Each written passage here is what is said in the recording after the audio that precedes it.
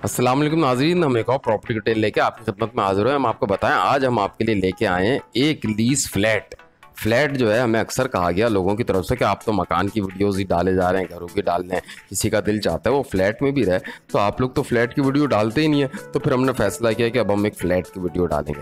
तो नाजीन मैं आपको बताता चलूँ, आप फ्लैट की हालत भी देख सकते हैं। बहुत खूबसूरत हालत है और जो है, कलर बहुत अच्छा हुआ हुआ है। ट्रेडिशनल लुक है।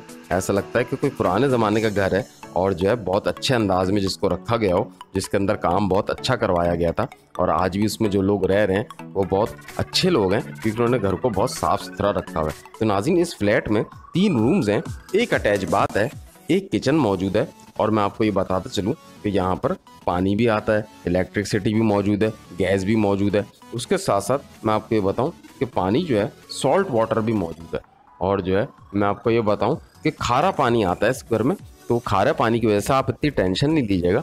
क्योंकि खारा पानी जो है, अगर आप उससे कपड़े धोएँ तो वो अपना थोड़ा सा रंग चेंज करते हैं। तो तीन दिन बाद आप अगर अपनी एक शर्ट धो के पहन हैं तो लोगों को लगता है कि ये कोई नई शर्ट है, क्योंकि वो अपना रंग तब्दील कर चुकी होती है। तो आपको शर्ट खरीदने का पैसे बच जाते हैं। तो नाजिन मैं आपको बताऊँ, खारा पानी electricity gas available lease flat है। सेकंड फ्लोर का ये घर है। सेकंड फ्लोर यानी आपको बहुत ज़्यादा ऊपर नहीं चढ़ना पड़ेगा। और सेकंड फ्लोर का ये घर, इसकी ओनर डिमांड कर रहे हैं थर्टी लाख रुपीज़ और नाजीन ये घर खड्डा मार्केट कराची में है।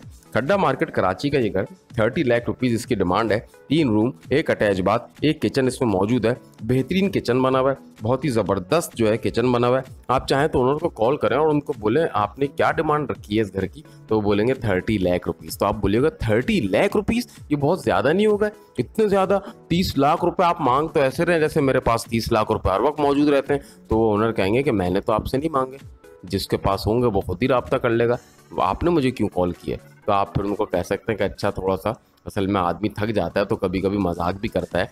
हम आपसे ये घर लेना चाह रहे हैं। थोड़ा सा अगर आप डिस्काउंट कर दें और हम आके इस घर को चेक भी कर लें तो इतमान हो जाएगा।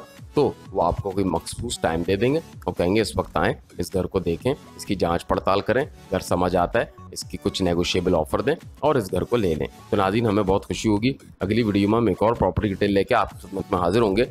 इस घर के ओनर को आप कॉल करें और इस घर को अपना कर लें।